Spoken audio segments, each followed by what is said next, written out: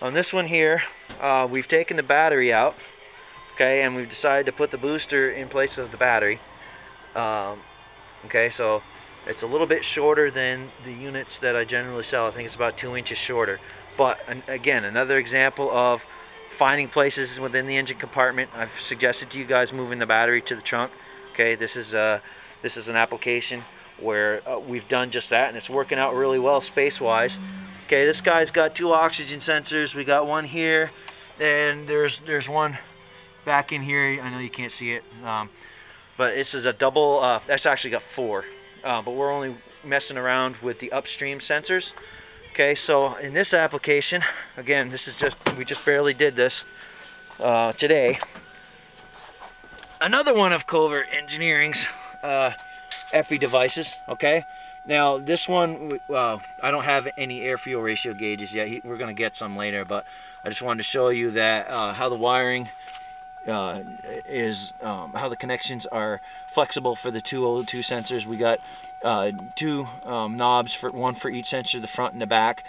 Um, I used the gauge that's in that uh, other car to set these, and then I took it out uh, because uh, that's that belongs to that person's uh, car. So I just kind of loaned it to set the gauges, and I set I set the signals exactly on this car exactly the way you just saw in the Prius. Okay, so some examples of uh, you know different uh, installation procedures.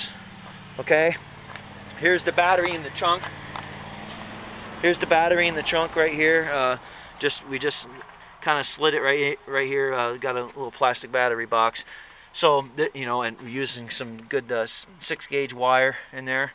Okay, so uh, good connection to the the ground is solidly bolted down to the frame, and you can't see it because there's cardboard in there. But this is a you know a typical installation that you can do as far as moving the battery to the trunk and uh, getting the booster up into the front.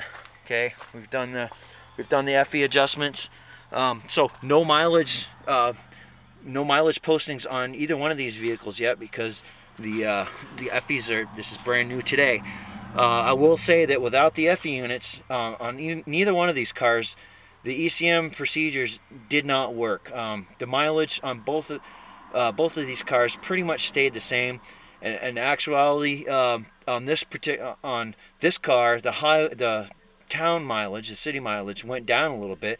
But when the operator took the hose out of the intake, it actually went back up. So there's it's definitely affecting the ECM. It doesn't make sense that you know the addition or removal of the hydroxy would drop the mileage like that. You know you think the mileage would drop when you put it in if that if that's the problem, but that's not what's happening. So we know that it's a computer issue, and so we've addressed it with this FE unit and uh, we'll be posting results. It'll take me a while to get these results because these aren't my cars.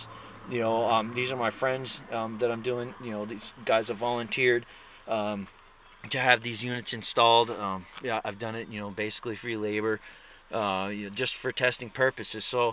Um, it takes me a while to get uh, you know to get these numbers because I'm not driving them every day, but I will be posting some numbers on both of these vehicles in the near future, including the Ranger and uh, we'll be doing uh, an FE installation on the uh, Smacksmobile too to see if I can tweak that 20% a little higher.